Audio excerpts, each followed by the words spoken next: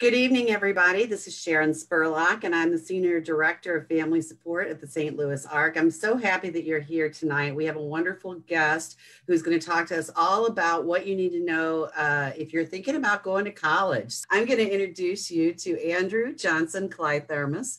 Andrew is the Transition Coordinator for the uh, Succeed program at UMSL, and he is uh, an amazing guy who knows so much about supporting young adults with disabilities abilities to have a successful college career in many, many different environments. So I'm going to uh, give Andrew the uh, floor and let him share his slides and go forward. So thank you for being with us tonight, Andrew.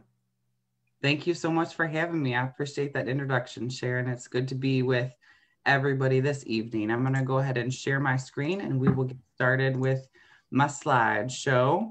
Um, so uh, are you ready for college? I hope everybody's in the right place because this is what I'm going to talk about tonight. So, a little bit um, about me. Uh, my name is Andrew Johnson Kliethermes. I am the coordinator of transition for the Succeed program.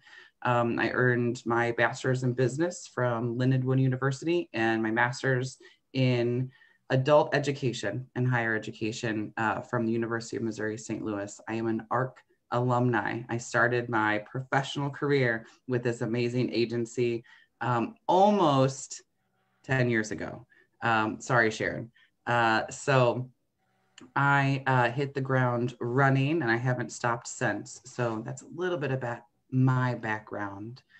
Um, so I want to start off by kind of talking about what we do at UMSL and how we provide supports to young adults in higher education.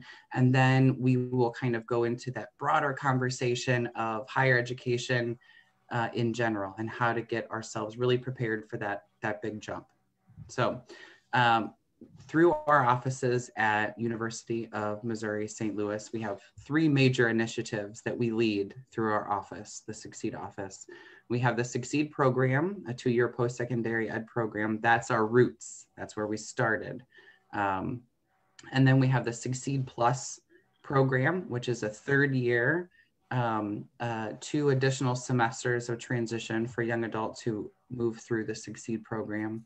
And then we have the LINK program, which is a support structure for students who are on a path to earn a four-year bachelor's degree. Um, so all three of these programs really centralize around um, supporting growth in four major um, growth areas um, that all young adults in college kind of go through. So we affectionately call these areas live, learn, work, and play. And it sounds like an amazing slogan for Adidas or Nike, um, but it really works well for us in higher education um, and uh, supporting young adults in college and launching out into their adult life. Um, so I'm going to quickly kind of go through these three initiatives and the supports that we provide, and then we'll jump into higher education kind of in general. So we'll start with the Succeed program. We are a two-year post-secondary educational program, specifically for young adults with intellectual and developmental disabilities. Um, we started um, eight short, very short years ago, um, focusing on supporting young adults 18 to 25. Um, and um, the two-year certificate program was really geared towards enhancing independent skills in those four major areas of live, learn, work, and play um, through really focused academic um, curriculum uh, while immersed in um, the UMSL community and culture. Um, so we we now through those eight very short years, and and Sharon can attest to that. Um, we have grown into an amazing program where we're supporting young adults that are residential students living on campus, but also commuter students who are commuting to campus or learning this semester uh, remotely um, from with distance learning. Currently, we're supporting about 50 students through this post-secondary educational program, um, and we have around 80 alumni in the St. Louis community and beyond. So we have and are currently supporting students literally from coast to coast, California to New York and everywhere in between. Um, so uh, we're really proud of our alumni. Most have stayed in the St. Louis community.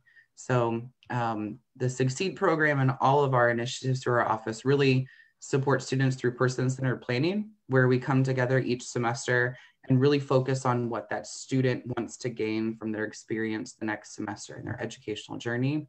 And we set goals with the student um, in each pillar, live, learn, work, and play. And that's where we really focus our, our supports um, to help that student achieve their, their goals.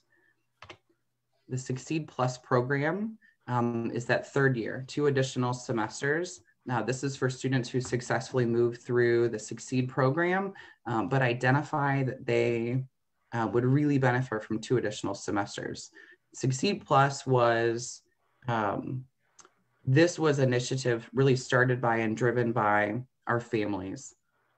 When we first started with Succeed um, eight short years ago, uh, we were seeing students of all ages. And as we moved um, from year to year, we noticed that our student body was getting younger and younger, and students were accessing our program in the UMSL campus at a young age, moving straight from high school into college. Um, and parents um, came together and talked to our program and said, We need a little bit more time. This two years is amazing, but you know now my student is only 19 is only 20 and we would love a little bit more time for our student to grow and build their skill base before launching out into the community. So we have succeed plus which is that third year where students are really focused in on more vocational and independent living skill building where they're living on campus in an apartment um, they are increasing the amount of hours that they're working or accessing vocational experiences and really working on those individual skill sets that they've determined they really need to build before they launch out into the community. So currently we're supporting four students. They're all living on campus in apartments with roommates. Um, and um, they're working out in the community and on the UMSL campus to really build that confidence before launching out. Our LINK program um, again, uh, came from the Succeed program, but really was initiated by a student and his family. Um, you know, this guy moved through the Succeed program and he said, Hey, I was really good at this college thing. Um, I would like to continue and I would like to get a degree. And can you still support me?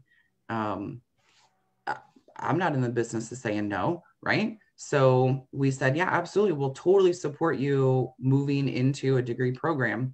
And so he very seamlessly moved into a degree program from the Succeed program. And then once in his degree program, he said, hey, like, all these things really work. Can you continue to support me throughout my degree? And we said, well, yeah, absolutely.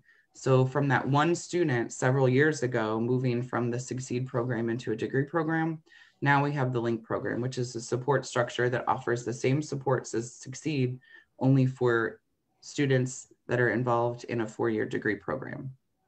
So um, we have 15 students currently in Link, and they're scattered across four different colleges across the UMSL campus, um, from College of Education to engineering to social work um, to arts and science. So those are our, three initiatives. And now I'll kind of really briefly go through live, learn, work, and play and just kind of focus in on the types of supports that UMSL offers for students with disabilities. So um, for our live pillar, that's independent living.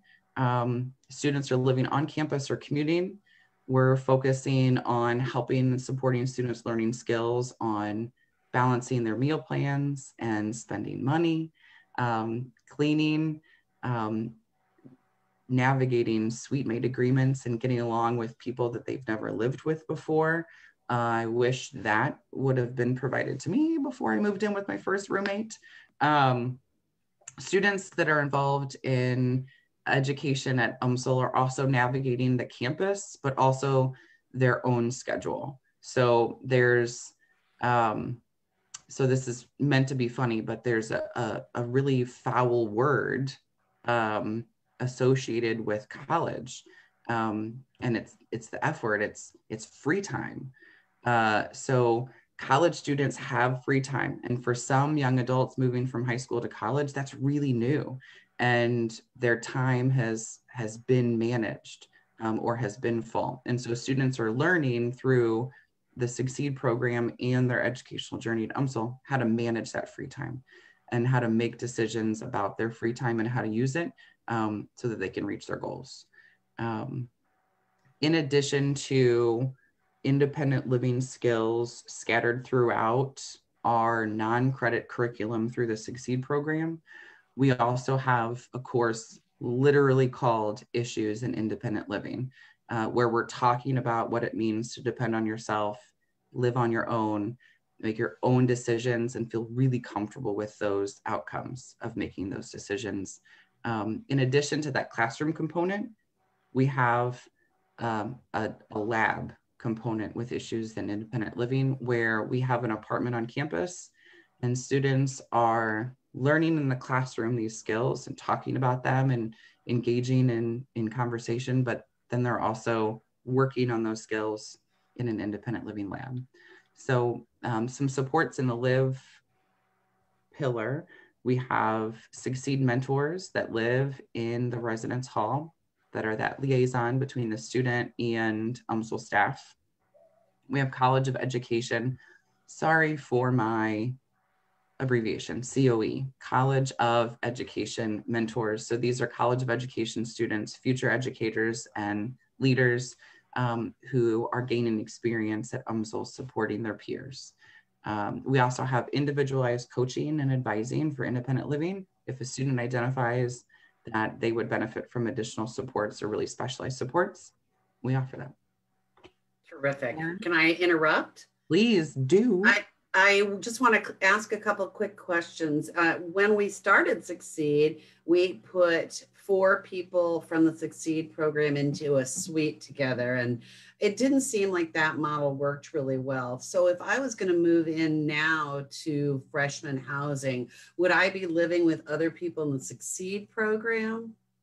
That's a great question, Sharon. Thank you. So, we um, have one of our main focuses at UMSL and in Succeed is inclusivity and the power of inclusiveness. So when considering living on campus, we have residential life and housing has what they call living learning communities.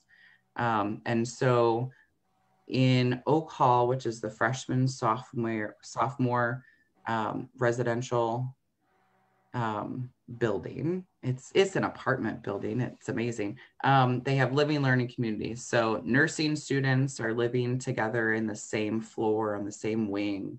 Um, engineering students are all together. Um, education students are all together. Um, but when you look at our program and what our mission is and our values, um, it doesn't really fit to have succeed as a cohort living on a wing um, on a floor together because um, we really want to be immersed in that campus culture and climate and engage with our peers so with the succeed program we work together with residential life and housing um, to support our students filling out their housing contract which is where they go through and determine yeah i like my room to be cold I need it to be quiet when I study. And um, I don't like a lot of noise from visitors. I like to be by myself or um, a quiet environment.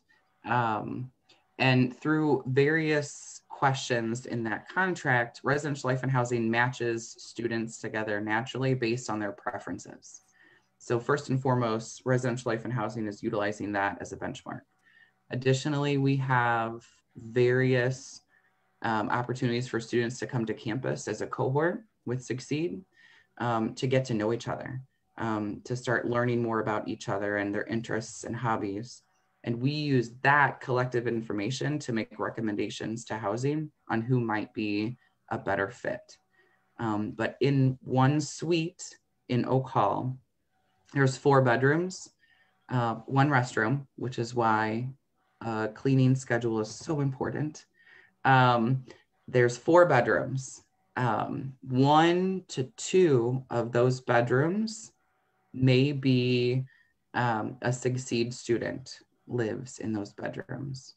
Um, two to three of the students in that suite are students from a degree program across campus. Um, because we utilize living and learning communities at UMSL, likely those other students are involved in an education degree, a social work degree, um, even a nursing degree. Um, so degree programs that are naturally those more supportive uh, personalities, those more supportive individuals that are looking forward to um, kind of an educator um, uh, role in their in their career. Good question. Thank you. The other thing I was going to just comment on, and I'm going to leave it to you to decide when this fits in best, but I was thinking it would be fun to talk to people about, you know, I know that we've had the experience when someone comes to live on campus and, and attend college that they have really big aha learning moments where, you know, maybe the bathroom didn't get cleaned for two weeks and then all of a sudden they had to kind of hunker down and take ownership of that. So at any point, if you want to tell us a great aha story about one of the pillars, I'm going to just sit back and listen. Perfect. I will, I will think about that one. Um, I will, I'll think about that one and I will, I will deliver that soon. Thank you, Sharon. Um, all right, let's, let's move into learn really quick. Um, all right, so we are an academic program. Uh, we are on a university campus. We are part of UMSL. Um, so our students that are um, involved with and engaged with the Succeed program have a full course load of classes. That's a mix of credit courses from the university. Um, those are chosen based on person centered planning goals, why the student chose to continue their education at UMSL. Um, and those are also life skills courses that the Succeed program teaches. Um, examples of those are healthy relationships and sexuality. That's two full semesters. Uh, we have study skills to help bridge those skills we learned in high school and what that means to be in a college environment. We have social advocacy um, and advising. So, uh, what it means to kind of find yourself, but then also what it means to go out and find your group, um, how to build that social network. Uh, one of the reasons why Succeed is so perfect to be in St. Louis is over 75% of our graduates stay in the St. Louis community. So, what a what a better place um, to to find kind of your community. Uh, one one student and their family said, um, We're here to find our tribe. Um, so, finding their social network and their social community and being able to continue those relationships for a lifetime. That's what we all hope to get from our college journey. Um, so, students can access credit courses through the Succeed program two different ways. Full credit goes on your transcript. This is for students who have maybe an academic goal of matriculating into a degree program. Um, so they can access courses for full credit, goes on the transcript, counts towards a degree. Uh, students who this is maybe their their um, their final step in formal education. Students who don't have a goal of continuing on to a degree program, um, they can enter courses, credit courses for what we call modified credit, which is where we work with faculty and the student to come up with various modifications to the curriculum to make sure that that class is accessible for any diverse learner um, and they can get from that course exactly what they want to fulfill their, their academic goal. Supports that we have in the Learn pillar, we have individualized academic tutoring, um, and last semester and this semester, we are perfecting the art of virtual tutoring. Um, we have academic coaching and advising. So students can come see me if they just have a question, comment, or concern about a class or an assignment. Um, but they can also be paired with a formal academic coach where they meet with someone weekly. And they're not necessarily working on an assignment, but they're working on managing their assignments and their courses. So we might have a student who excels at sitting down and independently working through an assignment, but they need help figuring out how long is this assignment going to take? And when during the week do I need to sit down and focus on this assignment so that I can go to the kickball game on Saturday and not worry about my assignments getting done. Um, so that's kind of that coaching piece. We also act as a liaison with Disability Access Services to make sure that students are getting accommodations in the classroom. And we have peer mentors in residential life and housing in Oak Hall that specialize in tutoring specific subjects. And those peer mentors are also trained through our program. The work pillar, a very strong, robust pillar of the Succeed program, um, students are involved with four semesters. So their entire Succeed career um, is involved with vocational curriculum. So learning those soft and hard skills in a classroom um, to help them reach and work towards their vocational goals and their career goals. Additionally, we require that all students are involved in vocational experience. That could be volunteer, formal or informal internship, or paid employment. Um, and that is really based on student goals um, and where they are in their skill development and where they want to be by the time they graduate. I will say that last year, our program was over 90% of our students uh, were involved in competitive employment, um, which is really important. So um, while it's amazing to find an experience where you get to learn skills that you need to learn and connect with people that you need to be connected with and build your professional network, our goal is going to be finding that opportunity first and foremost as a as a paid employee. Um, so, but again, it's it's really based on that student need. But um, so vocation is a, is a really big part of of our program. Some supports that exist in the work pillar. We have um, individualized vocational advising and job coaching uh, for this pillar. We also rely on peer mentors. So again, College of Education students and mentors at Oak Hall um, can be a support to students and provide guidance and advisement for, um, for students who are involved in, in a vocational experience. Um, but then we also really focus on building skills around connecting with natural supports. Um, it's amazing to have this support structure and system that Succeed provides, um, but it's also really amazing to feel confident in connecting with your coworkers and your supervisors that exist in the workplace um, and rely on them for guidance and advice. So we're building that skill set at the same time. That's so important.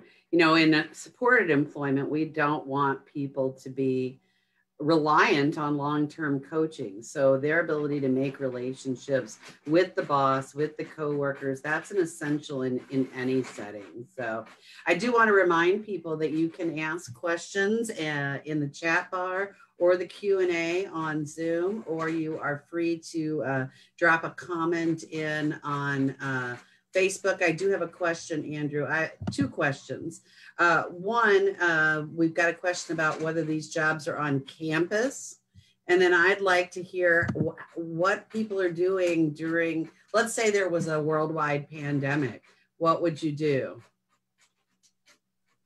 Okay. Uh, sorry, I was throwing my worldwide pandemic. Um, so ask me that question again. Okay, so right now it's really hard. Um, a lot of families have come to me and said, you know, I kept my kid in high school so they'd get vocational skills training. And now here we are, they're doing virtual stuff at home. And I feel like they're not getting what they need to really be able to launch. What can I do? And I'm just curious whether you all have had the same situation. Are there ways that you've been able to get people? Um, engaged in a face-to-face vocational experience? Absolutely. That's a great question and a huge challenge for all UMSL students. It is not exclusive to um, the student body that we directly support. Um, I can provide you an example that I think may kind of highlight what our students are working towards so we have a student who's involved in the PLUS program, which is really vocationally focused.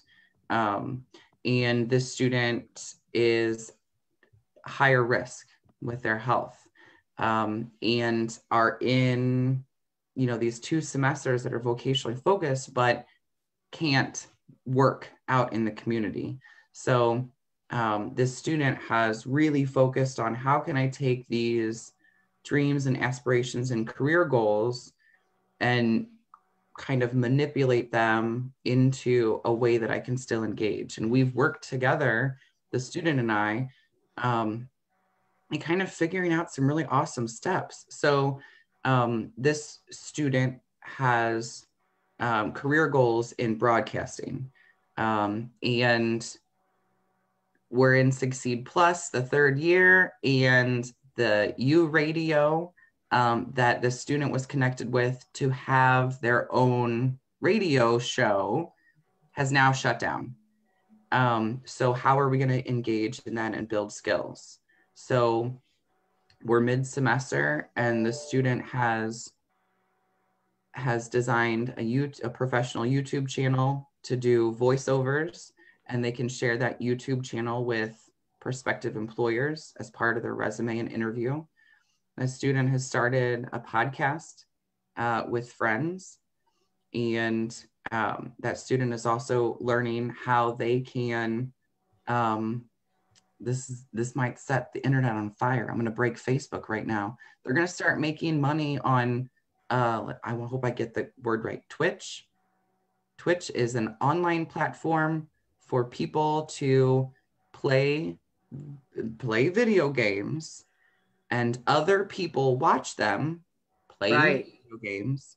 Uh, and there is avenues to make money from that. And so this student is also doing research um, and gaining experience on what it's going to take to earn an income. We have another student who is very passionate about sports and is taking sports management classes um, and hoped to engage in community sports.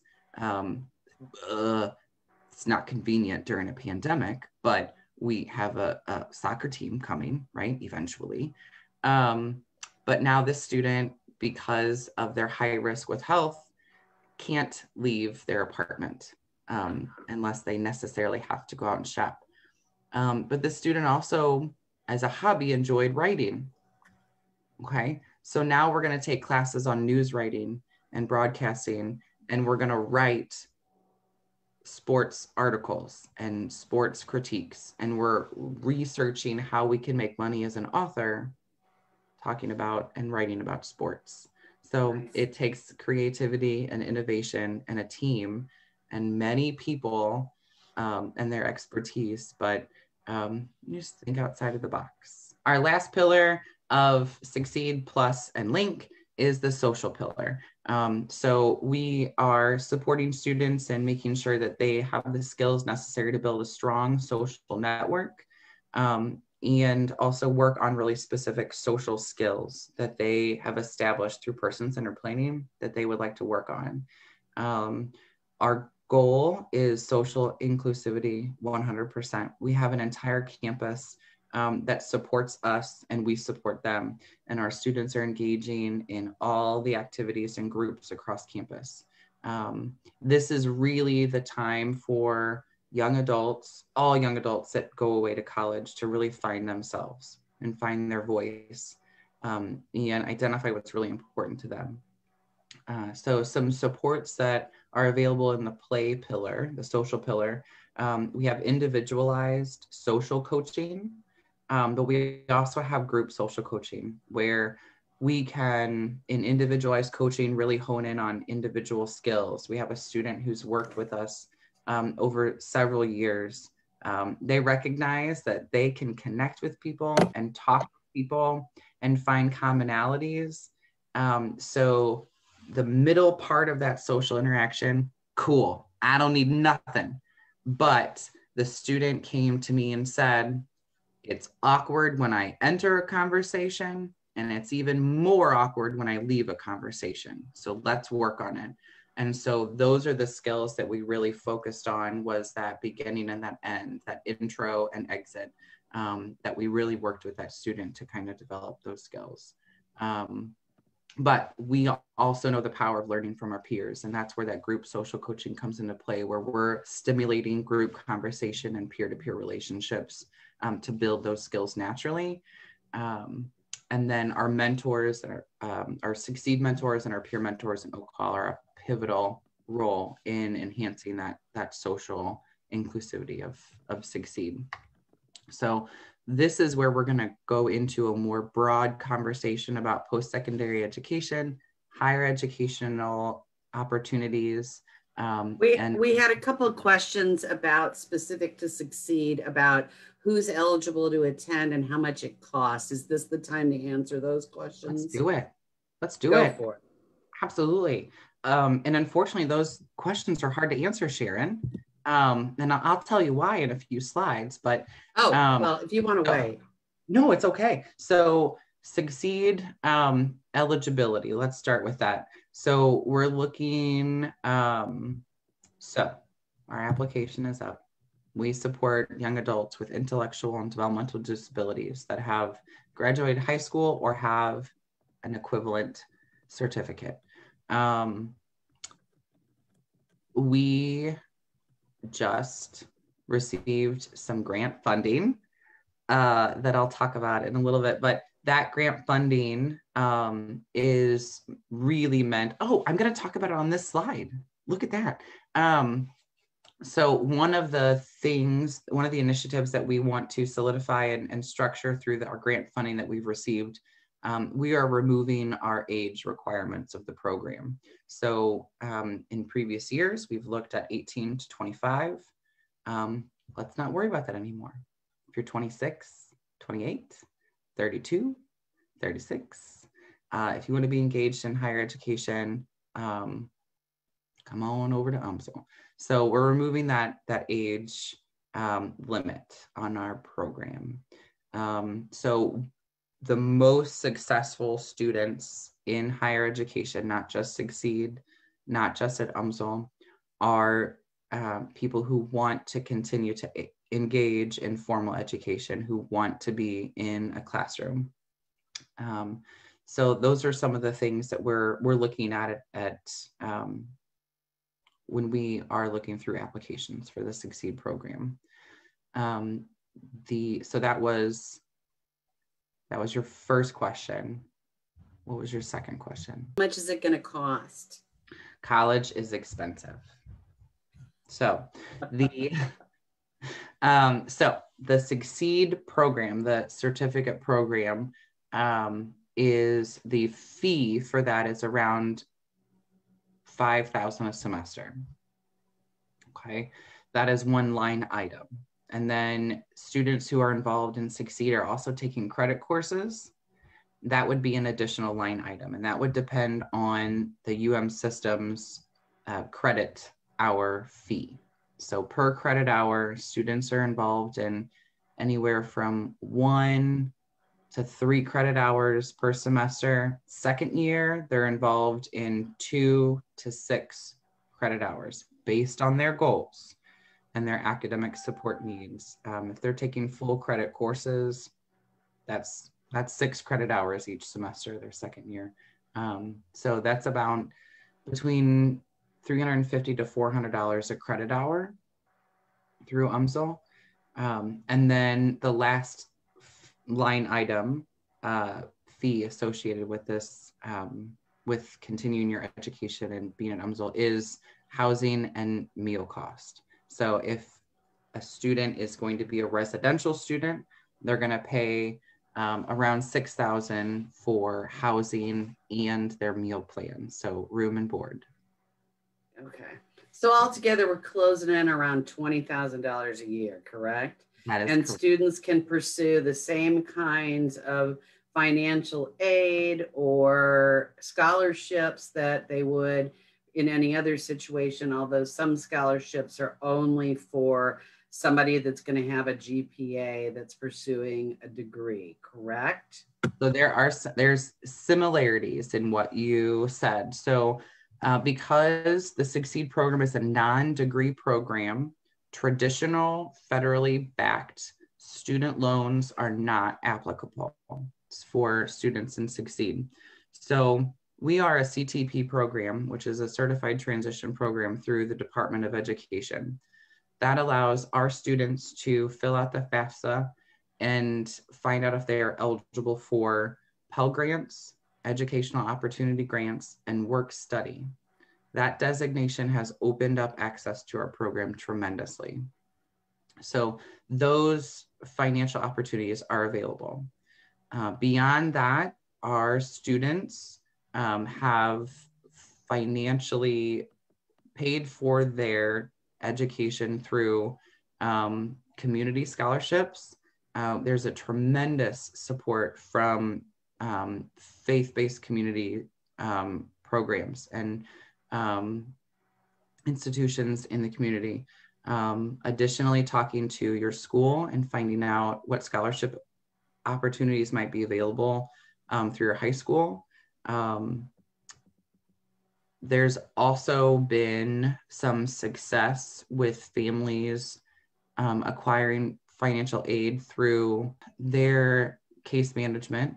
And then also, so the terminology is different now, but um, essentially there are, um, it's not Parent Plus, it's alternative loans. Sharon, thank you. Alternative loans. You sent that to me telepathically.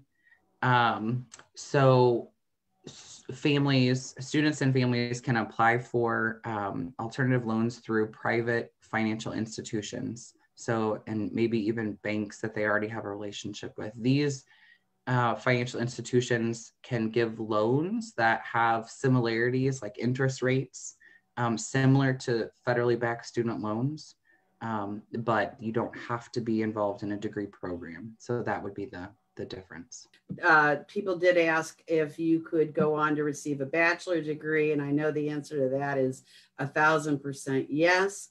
You support a lot of students with autism, and so the program is highly capable of supporting them. Um, they said, are there training or employment opportunities if somebody's interested in something like dog grooming or being a hairstylist? Yes. Uh, both of those are very current in my life right now. So we have, we actually have an alumni that we are supporting in transitioning to formal training through their employment um, for, for dog grooming. Um, dog grooming school is also really expensive.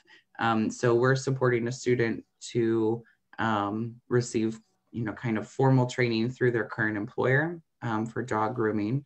Uh, we have several um, establishments in the St. Louis community that support um, college students in um, the animal kingdom. Um, so it might be doggy daycare, it might be through the Humane Society or the APA. Um, we have relationships with all of those.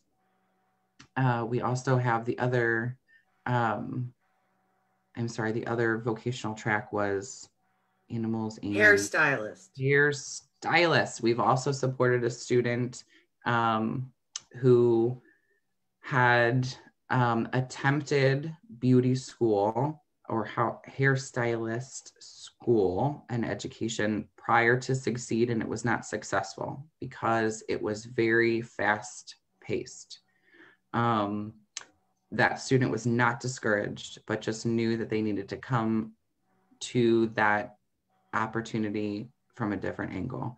Um, so we supported that student getting connected with that school through, while involved in our program, and they had an unpaid internship experience at the school while they were at UMSL.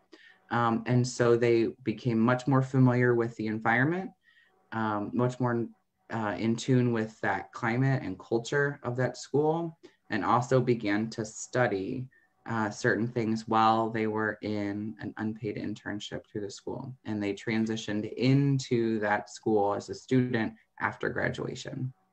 I think you make such a great point because I think a lot of times people want to go directly to um, a certification program um, or even a community college. And certainly that's a great place to go if the environment is structured for your success. What happens a lot though is because you're you don't have quite as much scaffolding around the student, it it just doesn't work for a lot of people. So I guess what I would encourage you all out there to do as you're thinking forward with what you learned tonight is to really have some deep conversations about what's going to help your family member be successful. Because it may be that they'll be great going to a dog grooming school or going to a community college, but they may need a program. And it is an investment to spend the money for two years or three years of a succeed program but you can see what you're going to get in terms of the amount of support they'll get across multiple aspects of their lives to start to take ownership of them. And that's a difficult thing to do. So i've just made a speech so i'm going to turn it back to you andrew Thank you so much, Sharon. That was that was really great. I, I really agree with that. And um, higher education, whether it's succeed or another opportunity, it really is a space where young adults can really have confidence in their own decisions and um, feel really good about their ability to survive those outcomes of their decisions. So um, we all make we all make the wrong decision sometime in our life.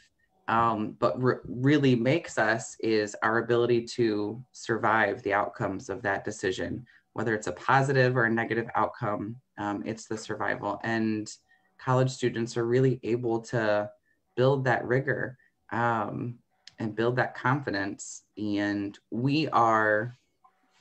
There was several years ago, succeed. Um, Liz and I presented um, on our parent workshop and the Succeed program. And the name of the presentation was Lowering the Safety Net.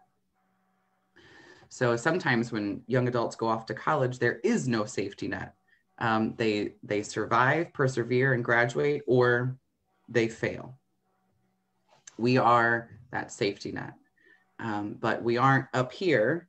Um, we're kind of down here. So um, students are really able to kind of learn through their mistakes, celebrate their um, their amazing decisions, and and uh, celebrate their triumphs, um, and kind of learn through that process. So, um, all right. So this slide we talked through most of it, but we have um, one resource um, at the top. That first dot point, thinkcollege.net. Um, again, we've kind of moved through the to this more broader conversation of, of higher education um, for young adults with disabilities. ThinkCollege.net is a clearinghouse of um, all post-secondary educational opportunities for um, adults with disabilities across the country. So thinkcollege.net, this is a clearinghouse of all post-secondary ed programs across the country. Um, so it's an amazing resource. It has tons of research and articles um, that are amazing. I especially want you to click on this US Department of Education Issues Awards um, for model projects because we're probably on that list, but we're not here to talk about me, we're here to talk about you. Um, College Search is this amazing tool where you can look up all of the different educational opportunities for young adults with disabilities across the country. You can use the filter over here to look at various opportunities based on your needs as a potential student. Or maybe you want to stay local and only look in with, within Missouri. Or maybe you're okay with Illinois. Um, or maybe you want to be really daring and go to Alaska to college. Guess what? There's educational opportunities in Alaska. Um, so this filter option is really cool um, because you can look at, if you go to advanced filters, you can look at um, types of schools. So if you know that a four-year program is going to work better for you than a three-year program or a two-year program, you can only you can you can filter your search to only look at schools that are four years or two years. Um, we'll talk about TPSID programs in a minute, uh, but um, this advanced filters is really is really cool. So this is a great resource. Um, first and foremost, um, Succeed might not be for you, and that's really really okay. The most exciting part is you have choice, um, and there's over 250 programs across the country um, for any young adult with disabilities to check out um, and have choice to continue their education after higher after high school. So um, MIPSA is the Midwest Inclusive Post-Secondary Alliance. This is an alliance that UMSL is part of. Um, so collectively, we got together with all of the post-secondary educational programs throughout the Midwest. Uh, we get together every semester to talk about best practices. What our goal is, is essentially no matter where you choose to go to college, uh, you should have confidence in the quality of education you are going to receive. Um, so if Succeed isn't for you and you want to go to Iowa, cool. Uh, you should have confidence as a young adult looking to continue your education after high school that you will get a quality education. Um, and that's what MIPSA is about, is to making sure that we are all working towards that end goal. Um, CTP, we talked about that. Um, so a certified transition program means that program is inclusive. So when you're looking at programs on thinkcollege.net, um, have confidence that a CTP program has a really high level of inclusivity. And where there's inclusivity, there's growth. Um, it also means that students would be eligible, um, can, can find out if they're eligible to receive Pell Grants um, and other uh, federal funding for their education. TPSID. This is a really exciting part, and I don't have a lot of information to share because it's so new. But um, the Succeed program, eight years old, still a baby, um, applied for and was granted full funding for $2.1 million um, in, in federal funding um, this year to strengthen UMSL's inclusive practices, UM system inclusive practices, but um, even more exciting, we um, were granted this grant funding to um, make sure that Missouri um, is ready and able to provide incredible opportunities for inclusive higher education opportunities. So um, we are also building our program out to have a four-year option we will have in the future, we'll have the two-year certificate program, but students will also have an option to access a four-year program. And that four-year option will be trade specific certification through UMSL. Um, and so we're looking to, um, to make sure that we build tracks for all learners um, to be able to access certificate programs across the UMSL community in trade specific. Um, so more details to come, but um, Succeed as you know it is only going to get bigger and better. Um, but we're looking at making sure that we have some really defined paths for, for students who are accessing UMSL. And again, that TPSID funding is removing that age cap. Um, so it's, uh, we never want someone to consider UMSL as their higher educational institution and then say, it's too late for me. So um, everybody belongs. All right. So when choosing a college, when thinking about this higher educational journey and leaving high school and the securities that that means, um, some advice from me and UMSL and Succeed. Um, meet with the Disability Access Services office prior to making a decision on your college um, meet with the staff that provide those accommodations in the classroom, understand the process, um, and understand their success. Um, additionally, ask about student support programs. Um, ask about student support programs specifically for college students with disabilities, but student support programs in general. We partner with several departments across our campus that provide various supports that are very successful interventions for students that we support.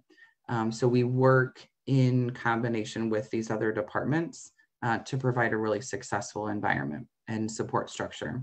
So ask about student support programs that exist on campus. Also, um, look for student retention support services. Um, so colleges really want to work to make sure that each and every student not only comes to college, but survives and perseveres. Um, sometimes that means we need to add a few things to our support team. So maybe it's not just our parents, maybe it's not just our siblings, maybe it's not just the tutor that we meet with once a week. Sometimes we need a little extra. That would be me taking college algebra three times. Um, so student retention exists on almost every campus, and those offices and those supports are meant to help students who are struggling, who are at risk.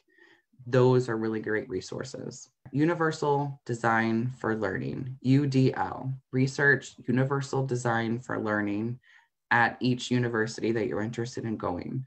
Universal Design for Learning, UDL, um, is an amazing approach to college education and curriculum that should open up access for diverse learners.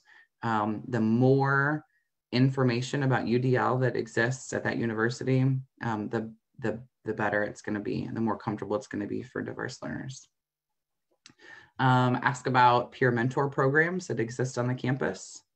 Um, and when it comes to residential supports. So know what supports, so talk to uh, talk to your support system and your support structures to figure out and really feel confident in knowing what your support needs are when it comes to living independently on college campus. And don't feel hesitant to talk about those needs with residential life and housing. They are there to make sure each and every single individual residential student feels comfortable and at home. That is one of the most important indicators of student success is feeling at home at college. So regardless of what your need is, no matter what it is, talk to your residential life and housing staff about it and ask for the things that you need. Um, a lot of campuses are starting to offer um, private living accommodations, especially for students with academic and social support needs. Um, those are amazing and access those if you can. Uh, my advice to you as someone who has seen a significant amount of students start college and graduate college, get those accommodations in the beginning if they're available with the end goal of inclusive living by the time you graduate, um, because that will only help you in independent living goals after you graduate college uh, really quick. This is really exciting for me because I love percentages and data, um, but I'll move quickly through it for you. Um, less than half of college students with disabilities access accommodations. But of those students that access accommodations, 75% of them say that it's really useful and it's helpful in achieving their academic goals um, the graduation rate for students with disabilities is too low. Um, and, and that is really speaking to the amount of students that are accessing accommodations in college. It's really different. In college, the student is responsible for asking for those accommodations and disclosing. In high school, that's not how it is. Um, so when you are empowered and confident as a young adult moving into college about getting what you need to be successful in your education, um, that is when you're the change maker. That 20% is toast. We're changing that. Um, so when you move to college, feel confident in going to the access office and um, and getting the accommodations that you're used to having in, in high school. So I'm sitting and listening and just thinking about one of the early questions, and I know you're going to have a slide about this, was what can I do while I'm still in high school to get ready for college? And and what you're saying right now just really is resonating with me because all of those things can happen at in high school. You can start learning how to ask for what you need in high school. You can do research in high school. So I, if, I know you're going to talk about this further, but I just think that the more we can prepare people to take responsibility for their lives, the better it's going to be in high school and beyond, or in college and beyond. Absolutely. And that, you know, sharing that fired me up. Um, so if you're in high school and you have an IEP, you have by law a transition plan. Um, and within that transition plan is planning for education after high school.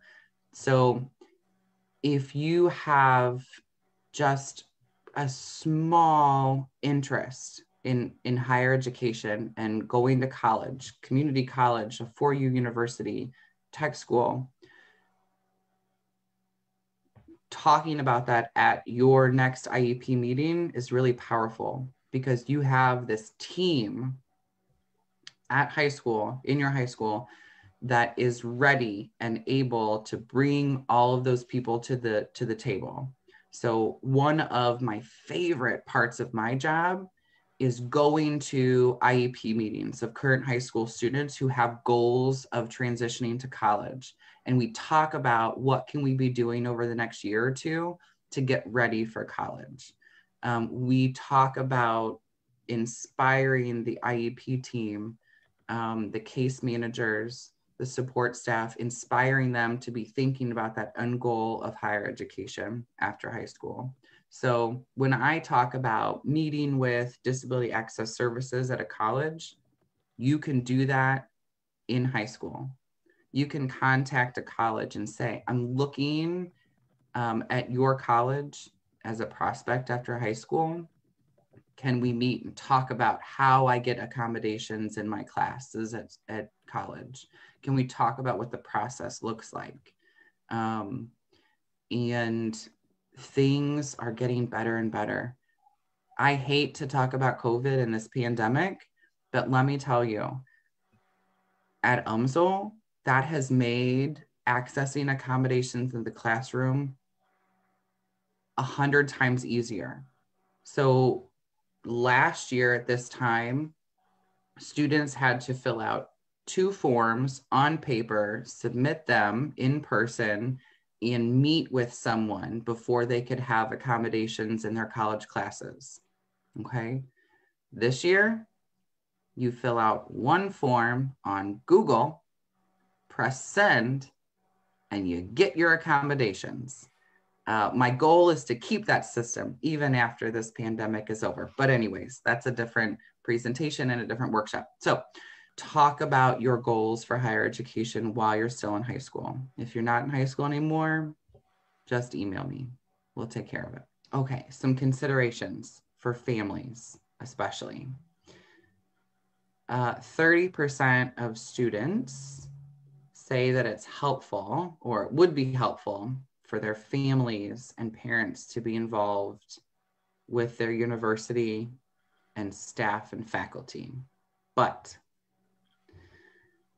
they can't. We have this thing called FERPA. Um, so it's kind of like HIPAA, only it's in education. Um, faculty, staff, and administration cannot communicate with families about students' academic progress in their classes.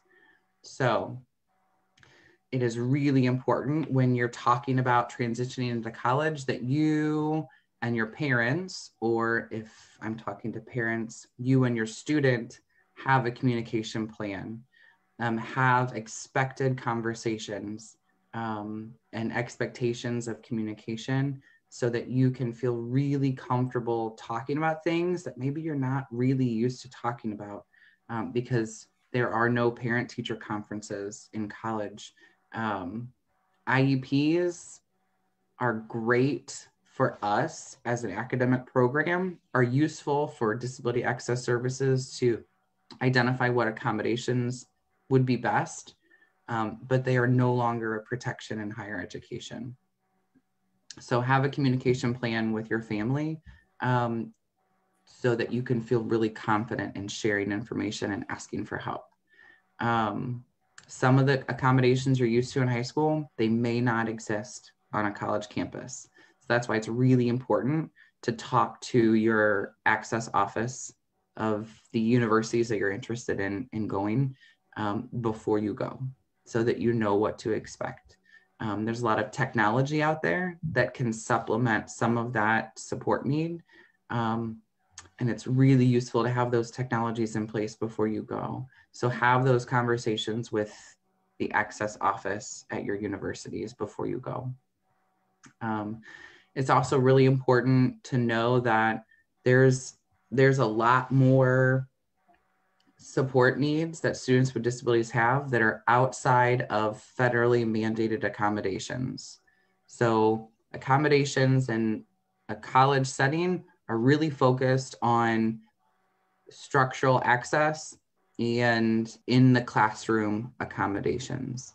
But I know, as well as you do, that there's a lot more to academic success than accommodations in a classroom and access to a building.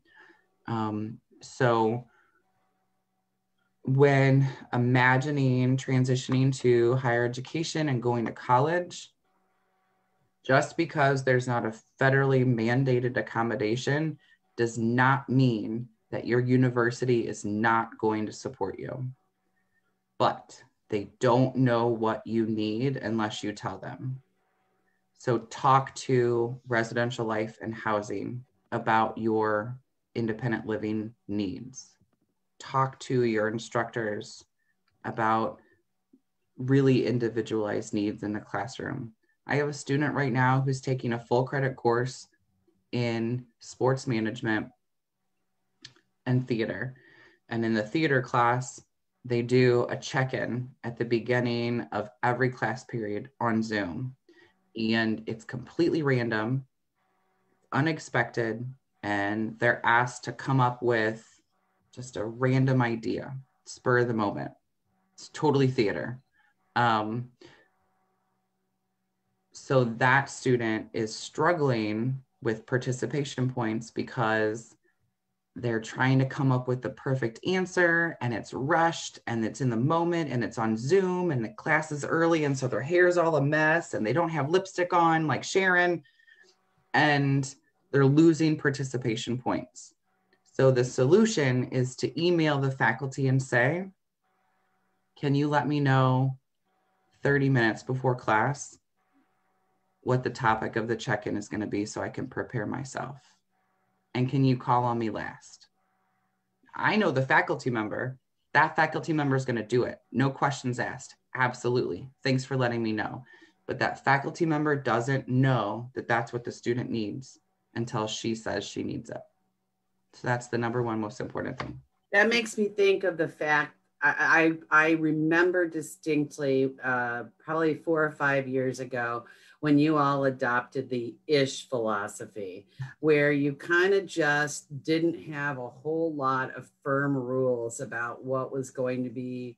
I mean, there's code of conduct rules about, but how uh, Succeed was going to support students became a lot more broad based. And you all spent a lot of time thinking about, well, if this is what this student needs, how can we do that? And I think it's really been a great outcome uh, of being an ISH program.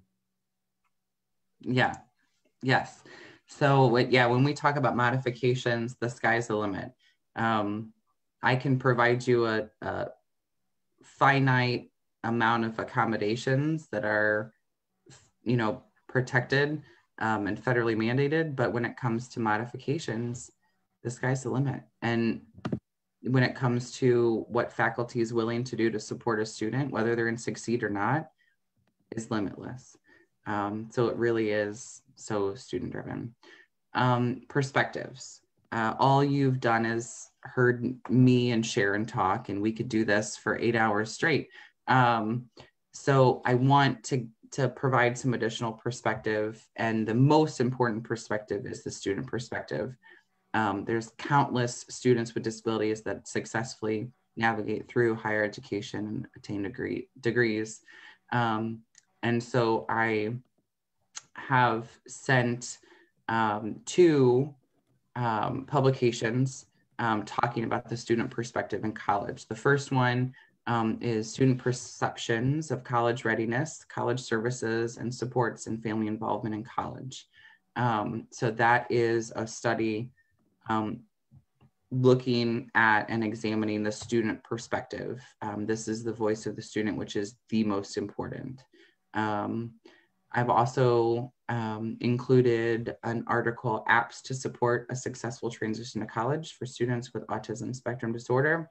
And so this is a handful of apps available on Google and Apple stores um, that college students with disabilities used and looked at and evaluated that helped them with kind of everyday college life. Um, and then college perspective, um, I'm sending to you um, two documents, one called Be Ready and the other local industry standards. Um, so Succeed worked with special school district and our local community colleges to include post-secondary educational programs in the local industry standards, which is a document that kind of describes and lists expected skills and skill bases um, for various post-secondary goals. So the local industry standards describes expected skills needed to move or transition into everything from supported employment, um, supported like independent living arrangements to college. We worked with local community members to be included in those local industry standards. I've also included Be Ready. Um, so before we were invited to uh, participate in revising local industry standards, I took the local industry standards um, for post-secondary education and included perspectives from our program. So what are the skills and things that young adults can be doing and what can families be doing and preparing themselves for to get ready for post-secondary education based on local industry standards and observations from our program. So both of those are included. Sorry, that was a lot of words. Local industry standards takes a long time to say. Um, but I've included both of those um, for you as well. So those are, are my perspectives. So be ready. Students, parents have work to do. Um, students, know your accommodations and your support needs.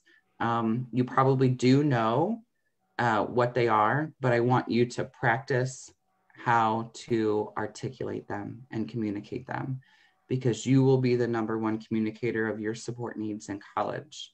And the more comfortable you are in talking about them and asking for them, the more successful your outcomes will be. Families, brace yourself for the I word independence. We want it, but we ain't prepared for it. Um, so with independence comes well there's a quote from spider-man um, but with independence um, comes mistakes and failures. Uh, but within each of those mistakes and failures is life lessons that we all learned when we are were our children's age.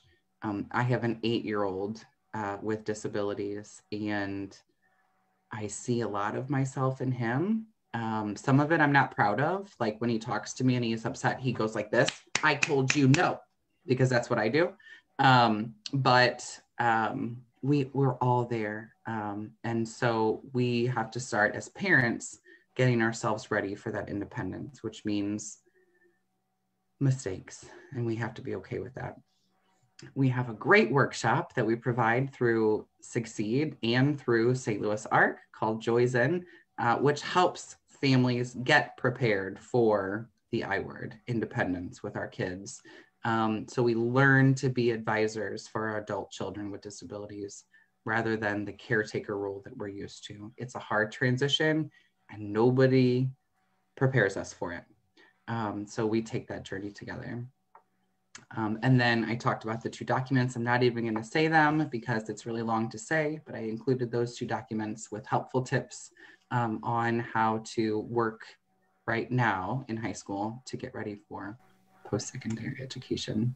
Um, you know, I challenged you a while back, Andrew, to tell us a story about somebody who really took some risks, took responsibility for their lives, and really had a big uh, leap of independence. Maybe you've got a story you'd like to tell us. Yes, I I do. um, and I, I hope you, um, I hope you find enjoyment in this story. So I had the amazing opportunity to support a young man in Succeed um, who was a man of many, many talents. Um, and not only was he amazing at customer service and um, helping people feel comfortable, he was an amazing advocate, but an incredibly talented musician. And this young man was involved with the Child Development Center on campus and found his his niche um, at at the Child Development Center, and he played his violin uh, for the classrooms for the students, and that was incredible. And that was part of his vocational experience at Succeed. Another passion and joy that he found, and as a way to build his employment skills and vocational skills, was to work for the dance company on campus, uh, MADCO.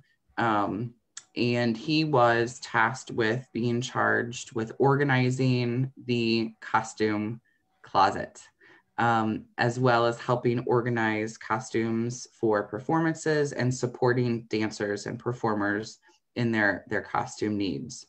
Um, that was difficult for the student and family um, to be comfortable with. So um, the family of the student really wanted him to gain additional customer service and sales skills. Um, but through this two year journey and being on a college campus and surrounded by people that absolutely loved the same things that he loved and was passionate about the same things he was passionate about, and built relationships with people that did for a living and supported themselves doing the same thing that he was able to do, this young man was able to very beautifully communicate to his family that this was his decision and this was his choice. And he was going to pursue employment with the dance company and um, continue to be involved with them. He was um, so of course that decision was absolutely respected because he beautifully communicated it to his family and to us as staff. And that young man went on to work and be paid through the dance company to continue to support the dancers in their costume needs and support the dance company um, in all their various performances. Um, and he also went on to do sales and he also went on, uh, I think he prided himself on telling me that he had three to four jobs. Um, yes, he, he did. Yes. Um, well, and, he, and, and the cool thing about him too, and I think this is uh, something that's really exciting to me, is that he left the uh, college program and he and two of his friends got an, a, a condo and one of them moved on because he got engaged to get married but the two guys have been living together a long time now. And a number of uh, alumni have maintained relationships well after the program either just socializing together or even being in roommate situations. All right i've got two questions. Uh, can you just start where you need to be like going straight to the link program? Uh, we have had students that started succeed with the specific goal of matriculating into a degree, they did not finish succeed. Um, they came in, they proved to themselves, to their family, and to the university that they were in the right place at the right time and had the right supports. So they completed, I believe, one semester, one and a half semesters of Succeed, and just moved on to a degree program and received supports for the through the link program. We also support uh, numerous students that are first time freshmen. They applied to umsl were accepted through general admissions and came to us for support. Um, so you do not have to go through Succeed in order to, to get link supports. However, if you do not attend Succeed, you do need to be admitted to the university through general admissions requirements. We have, I guess this isn't as big of a deal now that we're in COVID, but it was a really big deal. Um, students who moved through Succeed were not required by the university to have a qualifying ACT score or have taken the ACT at all. Um, so if you're a person with a disability that has a lot of issues with test taking, that could be a big deal. Absolutely. Um, but I, I do want to note that UMSL is not um, considering ACT scores as part of admissions during oh. during COVID. So, cool. um, but regardless, it's amazing no matter what. Um, yeah. Last year, this year. So, um, but yes, we have a lot of students that that were admitted through UMSL and uh, and came to us for support. And can you give us? I know you're a data guy. What percentage of the the graduates from Succeed choose to go on to college, and do they typically stay at UMSL? Have you had people actually matriculate that have been in the program yet? So, on average, uh, we are seeing that about 35% of our graduates continue their education after Succeed. Um, the majority of those students choose UMSL, not because we have a billboard that says choose UMSL, um, but because we offer similar supports through Succeed um, to degree seeking students. But we've had students successfully transfer to technical colleges and graduate um, with a four year degree. We have students who continue their education in community college. Um, we also connect students with local agencies to continue informal education um, through agencies. Um, so, and what does the data look like for employment when you graduate? Employment um, after you graduate is around 75% um, of graduates of the Succeed program are competitively, competitively employed after graduation.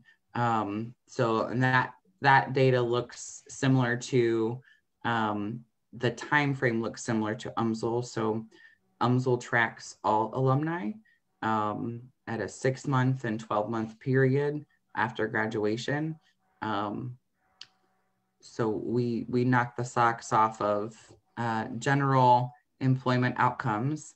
Um, I believe the employment outcome for young adults with disabilities is much lower than 75%, but um, we are definitely celebrating our students' wins. Fantastic. So I, we had one other question asking about success stories. Uh, if you had success stories for students with autism, and I know that that's probably the highest percentage of students that you get have an autism diagnosis. Um, I don't know if maybe you can tell a story about that or just talk about why you think it's a successful program for a student with high functioning autism. We officially have three Succeed graduates that are junior status with the university. And so they have a year and a half left until they attain their degree. Uh, so that was really exciting for me as somebody who leads the LINK program for degree seeking students. Additionally, um, we have a young man who graduated Succeed, participated in Succeed Plus, and launched out of Succeed Plus last year and is working full time uh, in a different county. Um, so he like moved counties and is working full time for um, for a company in St. Charles County. Um, and that was just like a surprise to me. Um, I really enjoy how this surprise happened. So I'm not in charge of collecting data on alumni. Um, so I'm not actively involved in that process. We support a student in Link who is just still friends with and hangs out with this person. And they were and I was doing their advising meeting last Friday and we were talking about like hey what are you going to do for the weekend? Like what kind of social engagement are you involved in? Who are you hanging out with?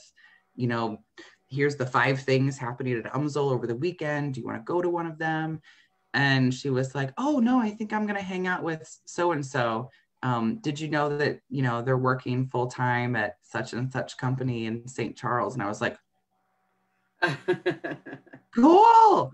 Um, so that was just like, and I know that student, you know, like had their fair share of struggles, um, but you know persevered and and learned so much about depending on themselves and having confidence in themselves um, well and that story speaks so much to me because so many people families particularly are so concerned about isolation for their young adults um, especially young adults with autism. And uh, it's nice to see those alumni con- connections continue. It's wonderful to see the social relationships start to build.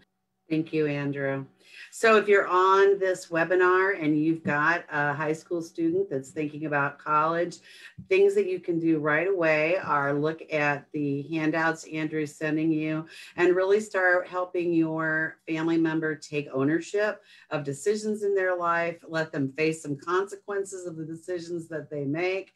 Maybe look at a summer enrichment program, um, which by the way is called a camp so that you can access recreation council camp uh, dollars so that that can, can be a, a, nice way to utilize that, that service. So um, lots of things that you can do right now to start building the um, best possible candidate for a college experience. Here's my contact information.